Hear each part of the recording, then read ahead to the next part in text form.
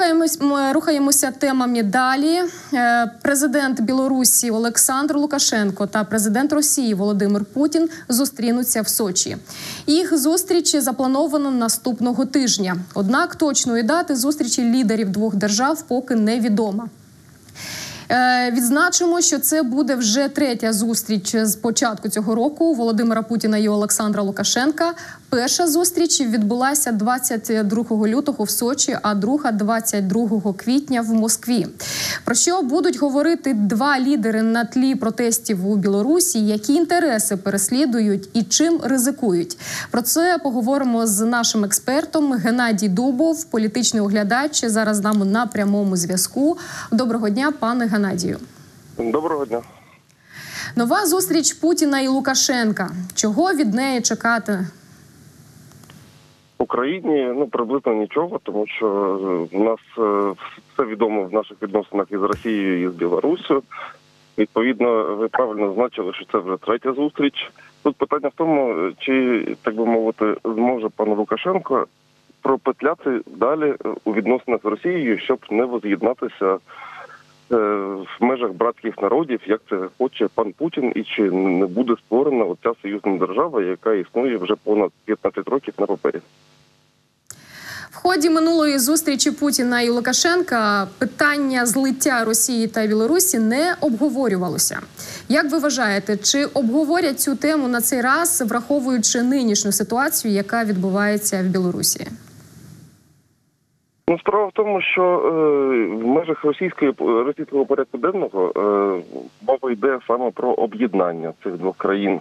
В межах е, риторики Лукашенка останнім часом мова йде саме про те, щоб е, відповідним чином зберегти суверенітет. Тому е, як як не крути, е, це, це новий раунд, який, скоріш за все, як який попередній ні до чого не призведе.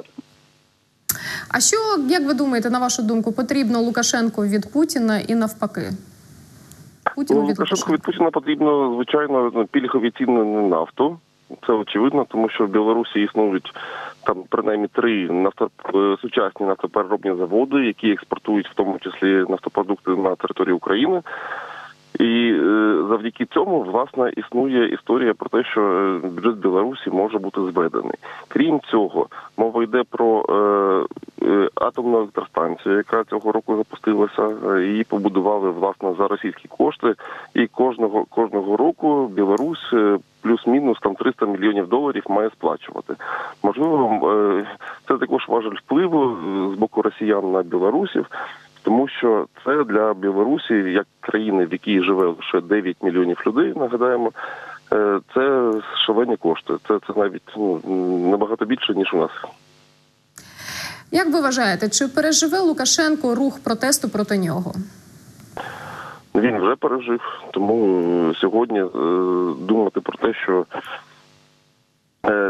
протести виникнуть знову, е, оскільки вони не, були результативними після виборів, ну немає підстав. Тобто ви так вважаєте, так? І ви знаєте, мене колись е, майже рік тому детектор медіа е, промаркував як людину, яка зробила маніпуляцію. А я сказав лише те, що протести в Білорусі не призведуть до зміни влади. Ну, власне, от я, я притримую свого прогнозу. А як ви вважаєте, зараз Путін поки що підтримує Лукашенка? Чи в ньому в нього трохи тактика помінялась? Це очевидно, що не росіяни роблять все, щоб звалити режим Лукашенка, і насправді вони найбільше зацікавлені для того, щоб зробити плюралізм політичну систему в Білорусі, щоб зробити певну партійну боротьбу і відповідним чином потім завести свої сили. Тому що Лукашенко, якби він е, не сприймався нами сьогодні, насправді він не є абсолютно проросійським політиком. Він є е, е, про своїм політиком, про Лукашенківським. Чи йде е, Лукашенко на якісь ризики заради того, щоб залишитися на при владі? Ну, е, дивіться, він він залишається при владі вже понад 20 років. Сьогодні я не бачу підстав говорити про те, щоб е, він був звідти прибраний. Бачимо е, в тому числі прецедент в плані літака, який е, летів з Греції до відповідно Литви, і навіть вони наважуються на те, щоб саджати такі літаки. Тому він почуває себе точно впевнено. Добре, останнє питання. Скажіть, будь ласка, якими можуть бути результати цих переговорів? Я думаю, що як завжди ніякими Е, Лукашенко намагається свій свою.